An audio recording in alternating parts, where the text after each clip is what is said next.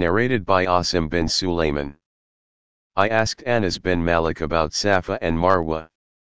Anas replied, We used to consider, going around, them a custom of the pre-Islamic period of ignorance, so when Islam came, we gave up going around them.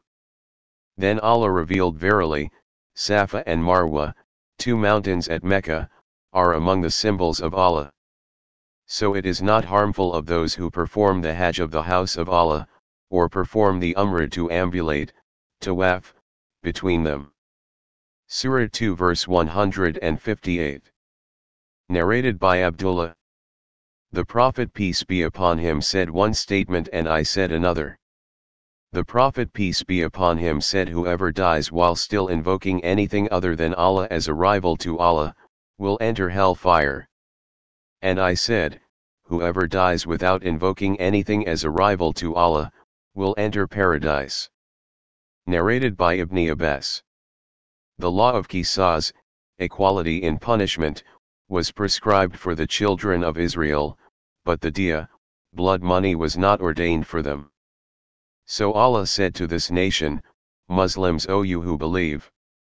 The law of Al-Qisas, equality in punishment, is prescribed for you in cases of murder, the free for the free, the slave for the slave, and the female for the female. But if the relatives, or one of them, of the killed, person, forgive their brother, the killer's something of qisas, not to kill the killer by accepting blood money in the case of intentional murder, then the relatives, of the killed person, should demand blood money in a reasonable manner and the killer must pay with handsome gratitude. This is an elevation and a mercy from your Lord, in comparison to what was prescribed for the nations before you. So after this, whoever transgresses the limits, to kill the killer after taking the blood money, shall have a painful torment. Surah 2 verse 178. Narrated by Anas.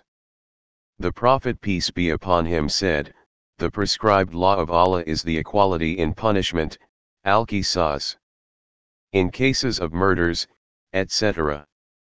Narrated by Anas. That his aunt, Arubai broke an incisor tooth of a girl.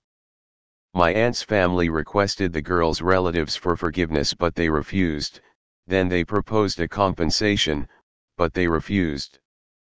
Then they went to Allah's messenger peace be upon him and refused everything except al-qisas, equality in punishment. So Allah's apostle passed the judgment of al-qisas, equality of punishment. Anas bin al-Nadr said, O Allah's messenger peace be upon him. Will the incisor tooth of Arubai be broken? No, by him who sent you with the truth, her incisor tooth will not be broken. Allah's messenger peace be upon him said, O Anas. The prescribed law of Allah is equality in punishment, al-qisas.